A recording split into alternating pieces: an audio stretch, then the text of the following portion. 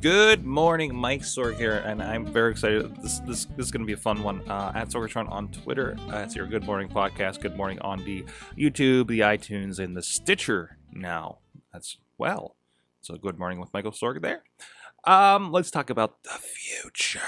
Uh, a lot of articles I, I'm coming across this morning uh, talking about the future and and getting my uh, my my mind running about it. It's 2015. We are in the future. I'm amazed. Uh, I talked about kind of recycling iPads like this guy over here, the iPad 1. I mean, how old is this thing? 5 years old, something like that, right?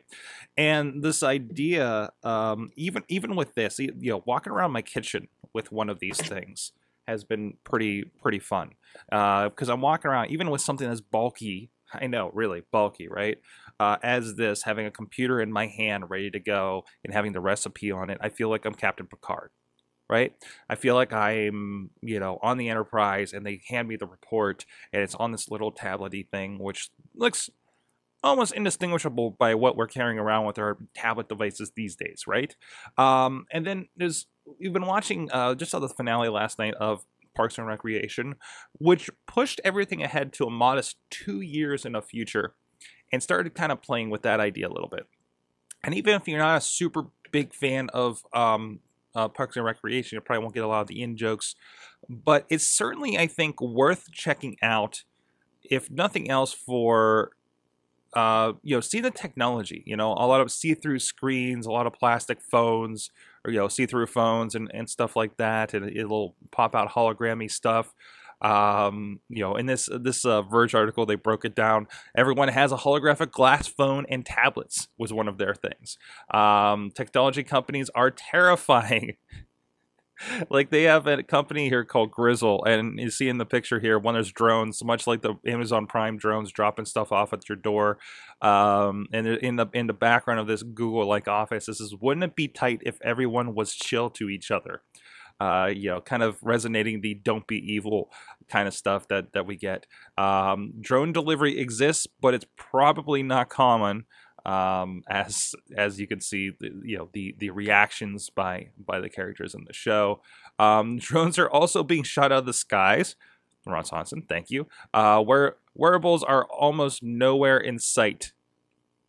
Actually, it looks like this guy's wearing a Pebble watch with a hologram on it. So, VR and AR technology apparently still just a toy for the privileged. Uh, yeah, that's going to be for a while. Phablets, um, the, per, the, personal data and uh, this is this is also a fun one. Uh, Ver, Verizon, Exxon, and Chipotle have merged into the best company in a very better off Ted kind of kind of thing. Uh, it, they had this fake commercial where, where they all joined together just randomly in the middle of the show.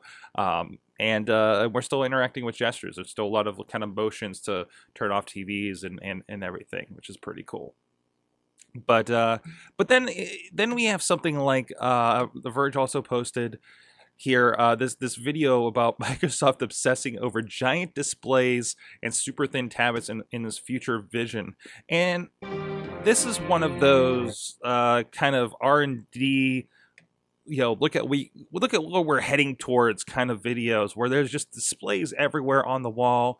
Everything's eh, there i only saw one real instance of holographics. Um, no bezel on our on our uh, tablets for instance. It's just a gla- just a giant screen at that point how things are integrated when you're out and about. Um, and it looks like we go through like a work day more or less. Now this is where it got interesting for me. So we got this part where she takes this thing off of her wrist. Well, first of all, I, I need to point out here this. Let's see if I can get a better picture of this. But there's this wearable that this lady, this girl is wearing on on. uh It looks huge. It's super wide. There's no way that's comfortable. Again, it looks like just a giant glass piece with no bevel, no anything. Like even the band looks like it's interactive. Um, but she also takes it, puts it on a giant screen, and it turns into a giant interactive display. Again, something that you know I think you know very obsessed with this idea, Microsoft, about we're going to have this giant workspace giant, giant, giant workspace like this. And I'm looking at something like this, and and, and you gotta think, it, you know, the gestures for a large table like this you see her grabbing things and kind of moving it. What's your reach? We talk about Gorilla Arm when it comes to a laptop with a touchscreen, but for something like this, like your reach is only going to be uh, like a quarter of the screen in the middle. So all your gestures have to happen there. So I think there's a big logistical problem going on there. Um, they are big fans of this. I'll roll this footage back for a moment. They're big fans of this um, uh, wall Skype thing where it looks like granddad's in, a, in another room that you're looking into. Um, and a lot of this seems to resonate what we saw with HoloLens too. It looks like they're trying to get take that HoloLens experience and make them just kind of uh, integrative screens that we can put everywhere. Um, and you know, just kind of work to that, you know, a lot of gestures, which, you know, I think that's something that needs to kind of be worked out. Um, but I looked at going back to that giant desktop that we're looking at. If you guys are on the video version, I definitely recommend it for this one. Um, there's recently a video that I was sharing around on the Awesome Cast accounts uh, for Cast AR. And this has been this is like the almost their technology like hololens seems to be. You put on these goofy glasses as you have to with any of this kind of stuff and it kind of uh, gives a holographic display for you to kind of play with here right? Um, in this case we're showing a girl playing a, a, tabletop game and there's a little kind of controller you can use. But here's what here's the cool part and this is one that if you watch uh, black mirror uh, first episode of the second season it looks like there's a very similar setup to this um, without the glasses, of course, where they're working on this desktop.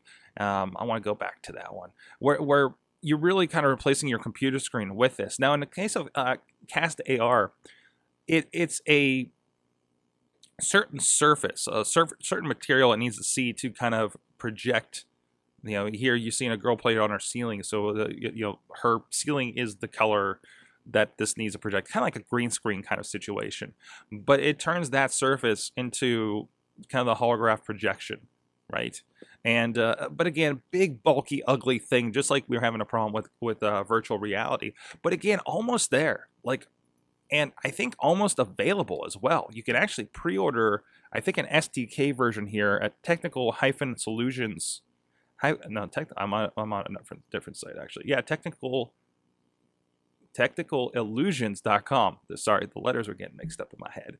Um, you can find out a little bit more about that. This is actually something technology that came out of Valve. They let the the head on the project take the technology with her. She kickstarted, I think, with her husband, and now they're at this point of development. And you can actually pre-order this for four hundred dollars. A cool four hundred dollars. You can uh, uh, pick this up. It's a uh, and this is this I'm interested in. Um, you know, you get this. It's got on top. You can get the controller. You can get uh, uh, a game that will play on this, and basically, you know, there's these little uh, RFID chips in these game pieces, and they'll interact and everything on top of things. But uh, I don't think that's the solution. Just like I don't think Hololens is the solution, but it's that first step that next step for us getting from where we are right now to the absolute insanity world of screens and holograms and everything that Microsoft wants us to get to through their videos here. And uh, I this this this vision might not be too far off, quite honestly. Uh, this vision, uh, you know, look at how far we are now look at our phones and the stuff we can do on them now versus, you know, we were joking on the Awesome Cast this week about, oh, Windows Mobile, wasn't it so horrible? You know, back with our AT&T tilts and our Titans and our, our you know, those devices, the, the 5 and the 6.5 devices that were basically Microsoft Windows with a start menu and, and a, and a, a, a, a, a uh, stylus and everything. You know, we've come this far in the five, ten years, you know, looking at phones and looking at how much I can do. I am more interested in playing games on my iPad and my phone than I am my console right now. Like the graphics have been good, been good. The gameplay has been fun, you know. Um, and I think we've really kind of pushed on to something something new here, something different. I think you're going to see that continue to change. What do you think about the future? It's not it's not back to the future. Uh, it's not hoverboards. It's although the um, although I didn't notice when I was uh, uh, checking out over at uh, Pitt Law at the parking garage, the voice on the parking uh, the the the pay parking pay machine was the same voice that you heard a lot in Back to the Future 2. Uh, your your jacket is now dry. That that Simon speak and spell kind of voice from the '80s that you always heard everywhere. Uh, it's 2015. Not a lot of pink going on, but still. Uh, let me know. What do you think about the future? Are we almost there? What what future vision are you hoping comes true? Whether it be from television or a concept video like Microsoft puts out, a technology going on now that you think is a step in the right direction, if not the uh, hopeful solution for some of this uh, technology uh, awesomeness. So. Uh, with that, let me know. Hey, at Sorgatron on Twitter, comments on the YouTube channel, or anywhere else you may find this video or audio uh, wherever available. I'll get to it. I'll find it. And uh, I'd like to have a conversation. What you think about the future? Sorgatron.com is the site. We'll see you guys next time and have a good morning.